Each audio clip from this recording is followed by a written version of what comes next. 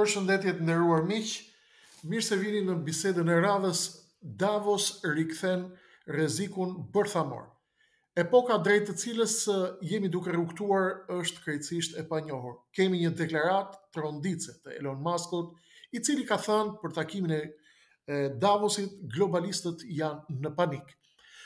Në fakt, duhet të kemi parasysh një gjë shumë të rëndësishme, gjëja më e vështirë në këtë konflikt është të gjesh të vërtetën. Është e pamundur të gjendet e vërteta, ne thjesht bëjmë përpjekje modeste për të kuptuar dhe për të analizuar, për të studiuar dhe për të hulumtuar atë që është duke ndodhur atje. Duket qartë që Davosi ka ndryshuar të gjithë ekuilibrat e lojës dhe kërkon përplasjen e madhe me Putinin për të mbyllur luftën dhe për të paksuar dëmet sa të jetë e mundur. E gjithë analiza botërore tregon se lufta në Ukrainë shkon drejt përshkallëzimit të madh Pra po shkojmë drejt një përplasjeje të madhe në këto momente. Të gjitha të dhënat tregojnë se bota do të nxehet dhe temperaturat e përplasjes së konfliktit më të madh botëror do të ngrihen. Pjesë e këtyre takimeve kanë qenë gjithashtu edhe liderët e shqiptarëve, Rama, Kurti dhe Abazoviç, që kanë shkuar atje për të marrë udhëzimet për periudhën e ardhshme. Le ta shohim videon. Rusia ndërkohë ka nisur ofensivën e madhe në Ukrainë dhe synon që të mbyllë sa më shpejt llogaritë e saj atje, me qëllim përfundimtar kontrollin e rajoneve të aneksuara, ë, që duket se tashmë është plotësisht e qartë se Putini nuk ka synim të marrë apo të pushtojë pjesën perëndimore të Ukrainës. Shërbimet sekrete britanike kanë thënë se rusët tashmë kanë futur në lojë tanket ti forti dhe kanë thënë kjo është një nga shenjat që tregon se Rusia ka nisur ofensivën e saj të përgjithshme. Prej disa javëve ashtu siç e kemi analizuar, ë kanë rënë njëra pas tjetrës qytetet e Ukrainës, ë është një qytet tjetër tashmë i, rrethu, i rrethuar Avdevka, e cila e ka radhën sipas raporteve të milicive Wagner, milicia Wagner, që janë bashkëpunëtorë të ushtrisë ruse në luftën e Ukrainës. Pra, këto sipas britanikëve nuk janë raportet e Kremlinit, por janë raportet e Wagnerit. Gjithashtu kemi një deklaratë interesante të një ish koloneli amerikan, Douglas McGregor,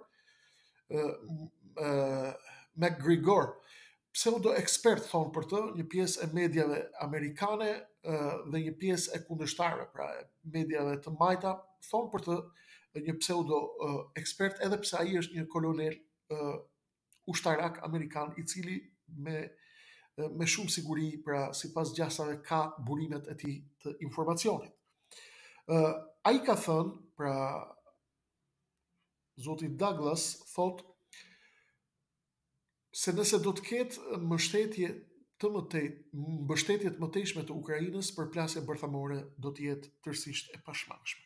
Ai thotë gjithashtu uh, se 122.000 ushtarë ukrainas janë të vdekur deri në këtë moment dhe 35.000 të zhdukur, pra të humbur. të cilët ë mund të numërohen lehtësisht tek të vdekurit.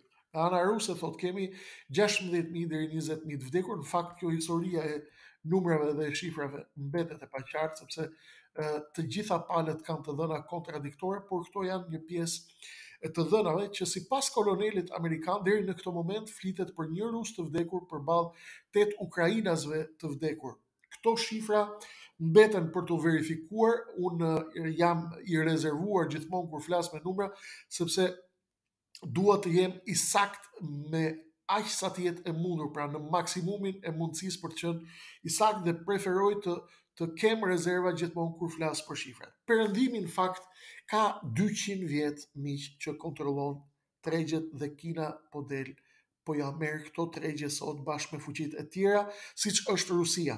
Ata nuk do t'i lëshojnë uh, këto tregje me lehtësi. Luftë, 150.000 shkuan si pjesë e parë dhe 150.000 të tjerë priten që të thirren. Situata tashmë ka ndryshuar plotësisht dhe ajo që po duket është se ka një avancim dhe përparim në terren të forcave ruse në ditët dhe në javët e fundit. Perëndimi është përballë një situate krejtësisht të re, që do të thotë se me të gjithë mbështetjen e NATO-s për Ukrainën, ajo tashmë ka nisur ë, ë, të humbasë në terren.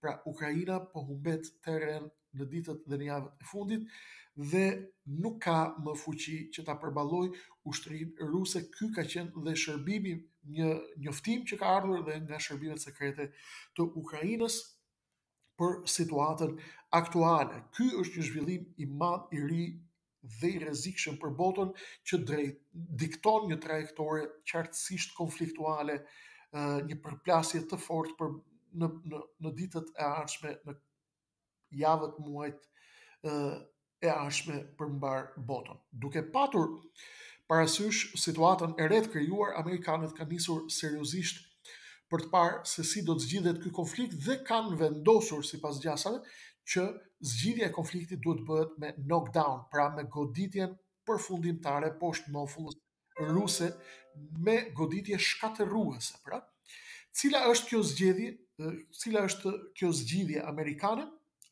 Patjetër unë do ta them atë, por më parë më duhet t'ju tregoj një histori të shkurtër. Shërbimet sekrete të Ukrainës po thonë se rusët janë duke u përgatitur për një sulm masiv për të vënë në kontrollin e tyre të gjitha rajonet që kanë synuar të kontrollojnë dhe për të cilat ata kanë nisur luftën në fillim të herës. Ndërkohë, kemi një ndryshim kursi të cilin e gjejmë te deklaratat e presidentit Zelenski. Deri në këto momente, ka qenë duke mbajtur, pra Zelenski ka qenë duke mbajtur një kurs tjetër në të cilin ai vinte theksin dhe thonte se do të vazhdojmë luftën deri në spastrimin e tokës së Ukrainës nga ushtari i fundit rus dhe në fund fare pa diskutim që do të triumfojmë. Ndërsa tashmë ai është duke thënë se kjo luftë duhet të ndalet menjëherë tani. Po si do të ndalet lufta pra? Çfarë nënkupton Zelenski me ndaljen e menjëhershme të luftës? Kjo deklaratë e Zelenskit në fakt ka ardhur menjëherë pas rrëzimit të helikopterit me të cilin ai flut, fluturonte ministri i brendshëm i Ukrainës. Ju të gjithë ju që i keni ndjekur zhvillimet me mua apo nga mediat, jeni informuar përpara uh, pak ditëve se ka patur një uh, incident, pra ka vdekur, është vrarë uh, ministri i brendshëm i Ukrainës pas uh, aksidentimit, pra pas rrëzimit dhe mbulimit nga flakës, nga flakët të helikopterit me të cilin ai uh, fluturonte. Këtu kemi një moment shumë interesant. Ndërkohë që të gjithë po kërkojnë të gjejnë se si mundet, si mundet ta ta kuptojmë se përse ka rënë uh, uh, avioni i ministrit të brendshëm të Ukrainës, na vjen një uh, raport dhe një mesazh apo një një parashikim sipas CNN-it amerikan, uh, parashikim i cili na tregon se uh, helikopteri në të cilin ka qenë ministri i brendshëm i Ukrainës, pra helikopteri është goditur nga një raketë e lëshuar nga forcat e Ukrainës, sipas CNN-it. Ndërkohë, uh, analiza e Ukrainës doli edhe tha se hakerat uh, kanë ndërhyrë pra në sistemin raketor dhe ushtarak të Ukrainës dhe kanë lëshuar raketën që ka goditur helikopterin e ministrit të brendshëm atje. Pra, jemi përballë një misteri shumë të madh se si mundet të lëshohet raketa që rrëzon helikopterin e ministrit të Brendshëm nga vetë forcat ushtarake të Ukrainës, sipas raportit të CNN-it.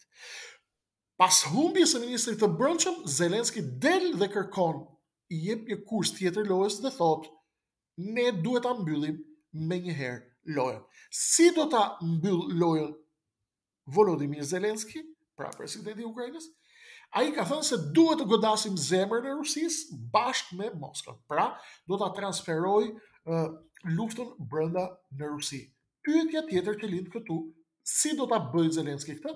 Pra, çfarë ka Zelensky në posedim dhe çfarë direktivash ka marrë ai uh, uh, nga Davosi për të mbyllur lojën, çfarë posedon, pra çfarë kartash ka Zelenski, pa diskutim ai ka ë uh, mund të ketë shumë ë uh, mënyra për ta bërë këtë, por në këtë moment duket qartë se ka avionët bombardues Tupolev 141, avionë ë uh, që vijnë nga ish per, nga periudha e ish bashkimit sovjetik, avionë të vjetër Tupolev 141, të cilët uh, as rusët nuk i kanë më në përdorim, por as Ukraina nuk i ka më në përdorim.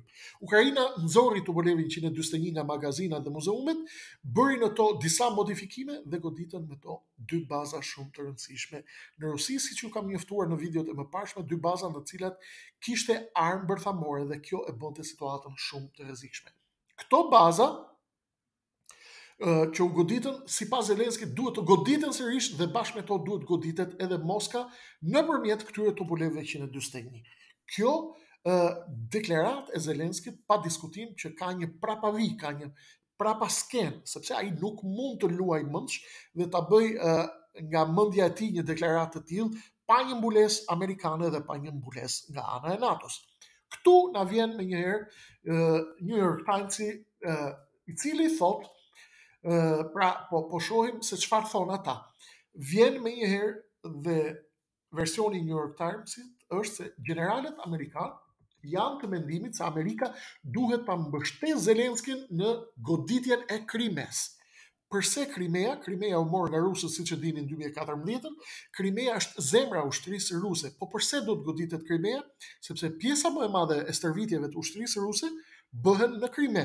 Por edhe se ajo është një fushë në të cilën agjentët iranianë, aleatët iranianë, pra agjentët e ushtrisë iraniane stërvisin ushtarët rusë. Dhe për këtë arsye, amerikanët, gjeneralët amerikanë, mendojnë se duhet goditur Krimea. Pra, ata i kanë thënë Zelenskit që të godasë Krimenë. Shtypi amerikan, gjithashtu në të njëjtën kohë, ka njoftuar se presidenti Biden ka dalë përpara kongresit dhe i ka thënë që ne kemi marrë tashmë një vendim për të çuar armatime të fuqishme në Ukrainë, Dhe të njëjtën gjë e ka thënë dhe Gjermania nëpërmjet kancelarit Olaf Scholz. Gjermania nga ana e saj është duke bërë uh, dy lojra, nga ana tjetër uh, komunikon dhe ka raporte sigurisht me Rusinë, por nga ana tjetër nuk është se ka mundësi t'ia bëjë fjalën dysh Amerikës të paktën në këtë moment dhe po bën lojë dyshe Një lojë të tillë prafërsisht është duke bërë edhe Franca. A do të goditet Krimea dhe Rusia dhe më pas a do të shkojmë ne në një rrezik do të shkojmë drejt një rreziku serioz për konflikt bërthamor, sigurisht që askush nuk di ta thotë këtë me bindje të plotë. Në luftë nuk ka asnjë mundësi të parashikohet dhe ajo që duhet të jetë e qartë për të gjithë. Dashur miq, është se unë, Kreshnik Osmani, nuk merrem me parashikime. Unë merrem me analizë, ndjekje, hulumtime, me të cilat merrem prej viteve të gjata të jetës time. Dhe askush nuk ka të drejtë dhe nuk është serioz nëse nis e merret me parashikime. Kush parashikon në rastin më të keq është një mashtrues ë spektakolar dhe në rastin më të mirë është i papjekur. Një deklaratë tronditëse sigurisht që ka ka turbulluar ujërat është vjen nga Elon Musk, i cili është pjesë e tryezave të rëndësishme, është pjesë e dhomave të mbyllura, është pjesë e e, e, e zyrave të rëndësishme, është pjesë e njerëzve më të rëndësishëm të planetit dhe ai ka thënë se Takimi i fundit i Davosit ka treguar se globalistët tashmë janë në panik. Kjo sepse nuk po u shkojnë siç duhet planet e tyre për Great Reset-in, për atë planin që kanë ata për dy mijë e tridhjetën dhe se ky lloj paniku mund të na çojë, thotë Elon Musk, drejt një përplasjeje fatale bërthamore dhe hapjen zyrtarisht të perdës së Luftës së Tretë Botërore, për të cilën kur kemi folur na kanë thënë keni nisur të luani mendsh, sepse nuk ka luftë, as ka për të ndodhur gjë, as jemi përballë një situate krejtësisht e re. Dhe kur e thotë këtë Elon Musk, do të thotë që diçka e rrezikshme po luan të dashur miq, sepse Elon Musk është prej njerëzve të tavës, në qoftë se do ta themi në zhargonin popullor, është nga njerëzit që janë brenda tavës së madhe dhe e dinë mirë se çfarë është duke u dizenjuar për të ardhmen e planetit. Të gjithë ju keni parë videon e famshme që ka bërë xhiron e rrjeteve sociale ku gazetari i Rebel Newsit në Davos vrapon pas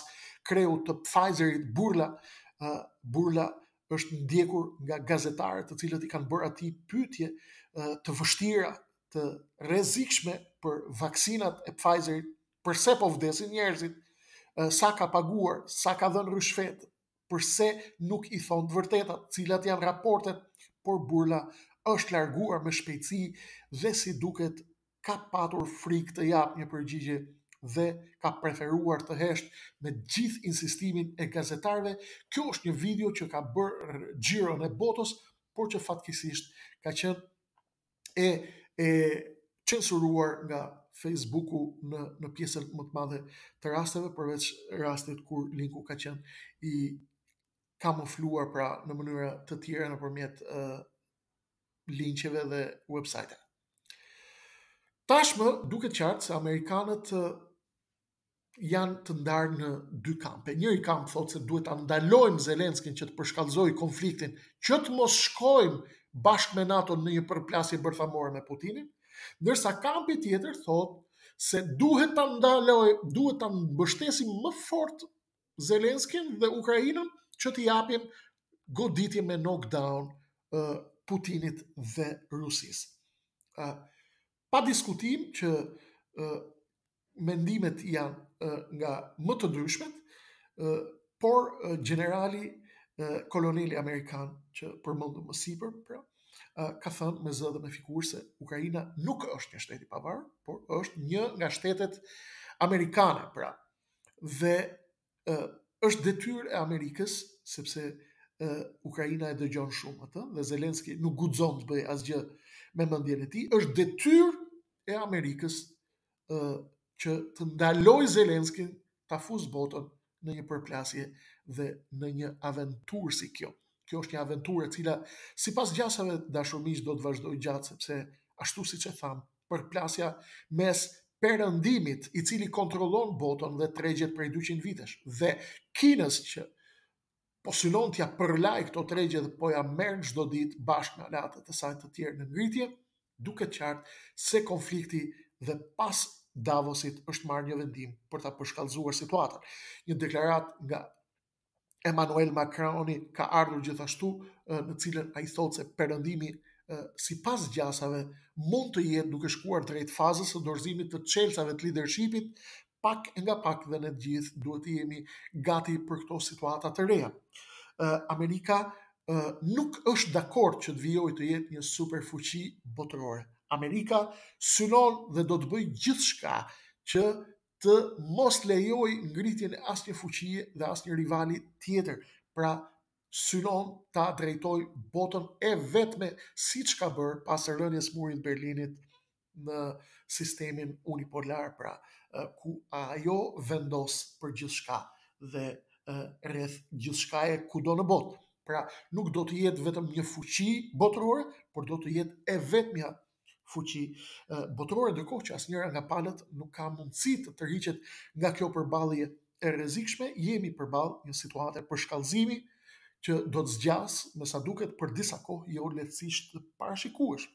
Do të kemi përpara një vit sipas gjasave të përgjakshëm, sipas ë studiuesve një përplasje thyrje kockash ndërmjet Perëndimit, Kinës dhe aleatëve të saj, në këtë rast pra, dhe Rusisë, sepse Perëndimi nuk është i gatshëm të lëshoj terren dhe të lëshoj tregjet të lëshoj uh, leadershipin e planetit.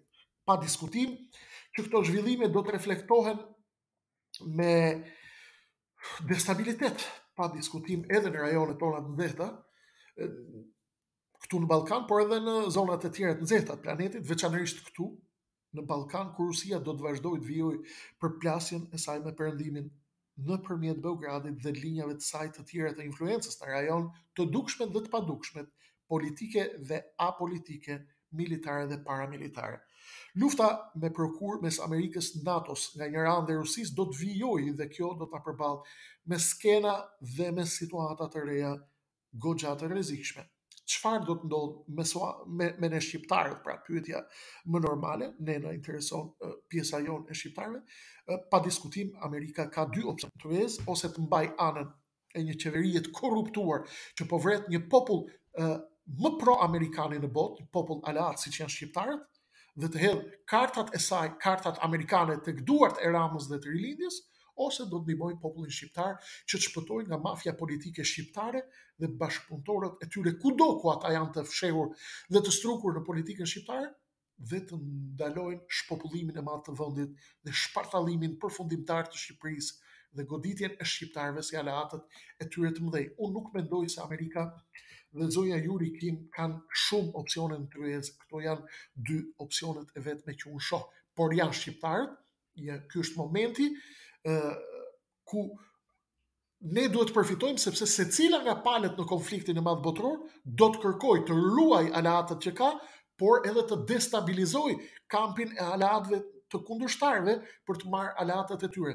Kështu që në këtë kuadër ne shqiptarët duhet të jemi të kujdesshëm dhe të vëmendshëm të kërkojmë atë që na duhet tashmë prej amerikanëve dhe prej aleatëve tanë perëndimorë dhe prej aleatëve tanë në NATO, që t'u kërkojmë atyre faturën tonë për pranim dhe për shërbimet dhe për dhe për gjithçka ne i kemi dhënë botës, i kemi dhënë ë uh, planetit dhe aleatëve tanë.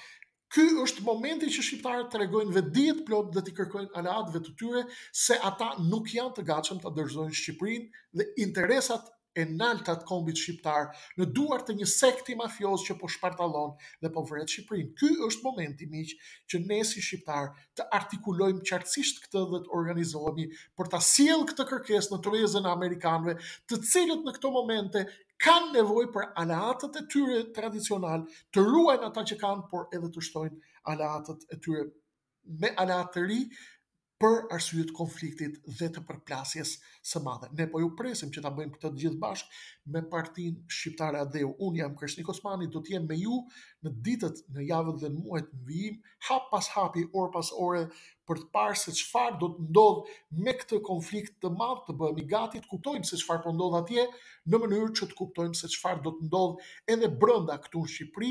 Merrini këto analiza, bëjni subscribe kanalit, bëjni like që ta ndihmoni algoritmën që t'i shpërndajë YouTube-i tek pjesa tjetër, merrini shpërndajni videot dhe çojani pjesës tjetër të shqiptarëve, në mënyrë që ato të njihen me analiza, studime dhe hulumtime të kësaj natyre, të cilat nuk do t'i gjejmë tek pjesa tjetër e mediave shqipfolëse. Të tilla zhvillime, të tillë epokë të rrezikshme të monstrave, këtë epokë të ndërmjetme në të cilën po kalon njerëzimi e gjejmë të analizuar edhe tek libri më i fundit Stuhia e thyer, të cilin linkun e të cilit në Facebook, pra do ta gjeni në kutinë e përshkrimit këtu poshtë në YouTube dhe ku ju mund të shkoni dhe mund ta merrni librin për t'i parë, për t'i hedhur një sy, për të kuptuar se çfarë është duke ndodhur sipas këndvështrimit tim. Bashkë, mirutakofshim në bisedat e radhës. Kaq për sot do të jemi minutë pas minute për të kuptuar se çfarë është duke ndodhur. Ngjarjet po lëvizin me shpejtësi Situata sipas gjasave është duke u ndezur dhe do të kemi një ndezje të mëtejshme dhe një përplasje dhe nxehje të mëtejshme të konfliktit, ne do të jemi aty hap pas hapi për ta kuptuar dhe për ta shpjeguar për të gjithë ju shqiptarë kudo ku jeni në Shqipëri, në rajon dhe mbarë botën. Jemi në kontakt dhe flasim sërish.